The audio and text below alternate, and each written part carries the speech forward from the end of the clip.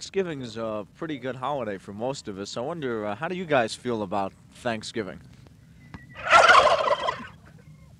what do you What do you plan to do? Most of us plan to take the day off.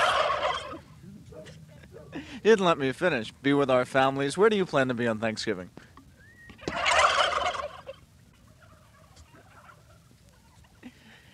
Uh, if any of you last till Christmas, where are you gonna be then? I don't want any of you guys to stick your neck out, but I'm wondering if you think that perhaps ham wouldn't be a better traditional Thanksgiving Day dinner. Same to you, fella.